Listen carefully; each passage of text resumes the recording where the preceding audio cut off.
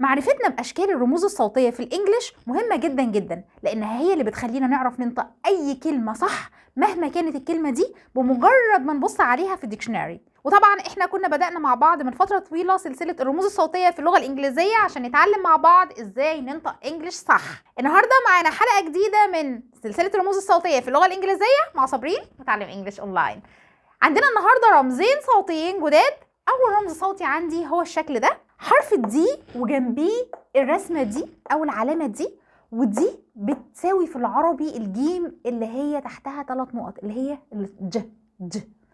ال D مع الجيم دي فبتبقى ج ج. بتتكتب كده بالعربي زي الدال كده وبعدها جيم متعطشة اللي هي ج. فالرمز ده نطقه كده ج ج. فأول ما ألاقيه هعرف بقى سواء بقى عندي حرف ال J زي كلمة jam مربى مثلا أولها حرف ال J فحرف ال J هنا هلاقيه مكتوب كده بالشكل ده.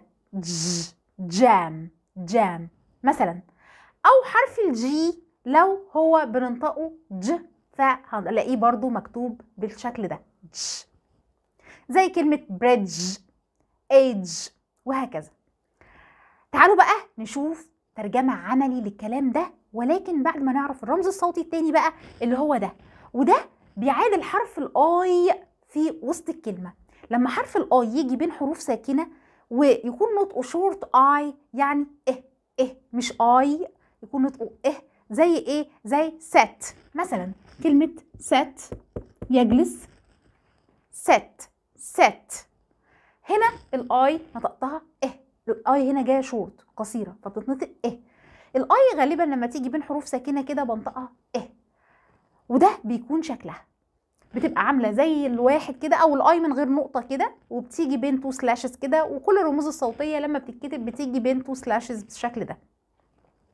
تعالوا بقى نشوف كلمة عملي تفسر لنا إزاي بننطق الرموز الصوتية دي. يلا بقى نقرأ الكلمة دي. طبعا أنا لما أبص في ال dictionary على الكلمة. بلاقيها مكتوبة بالرموز الصوتية كده.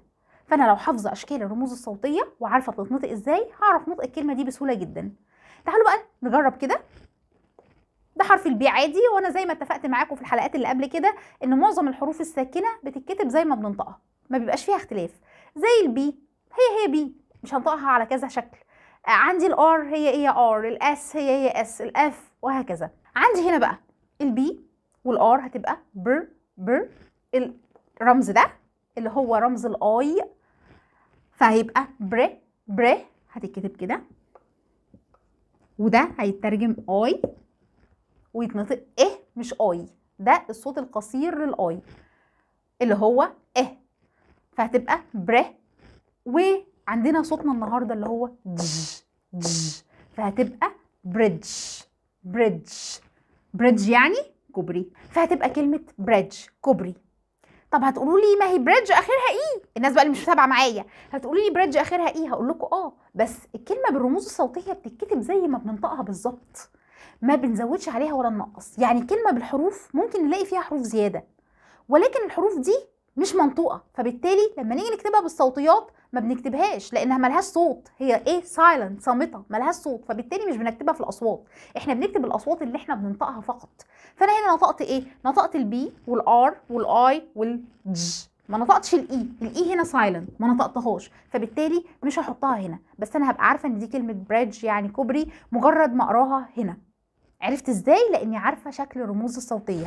عارفة إن العلامة دي معناها I وعارفة إن الرمز ده بيتنطق ج ج فهيبقى bridge bridge فبالتالي هعرف أنطق أي كلمة وهعرف النطق السليم ليها من غير أي مشكلة. ليه؟ لأني عارفة الرموز الصوتية. وهنا بقى تكمن أهمية الرموز الصوتية. يبقى الرمز الصوتي ده اسمه إيه؟ ج ج الرمز الصوتي ده إيه؟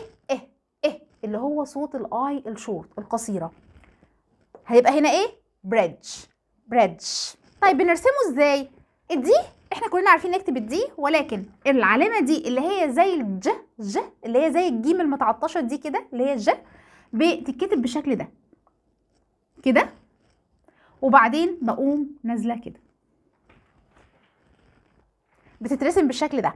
جربوا كده ترسموها واكتبوا لي في التعليقات هل السلسلة دي حاسين إن هي مفيدة ليكم أكمل فيها ولا أقف لغاية كده؟